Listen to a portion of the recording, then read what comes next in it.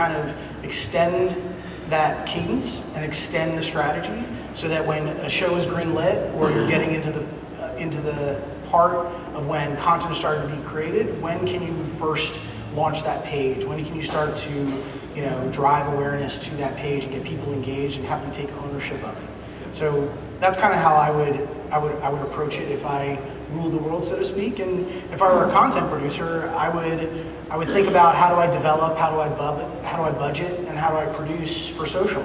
How do I take um, you know my my my shiny object that's ultimately going to be on TV, and what is my social strategy around um, that content to deliver a really good experience? Um, typically.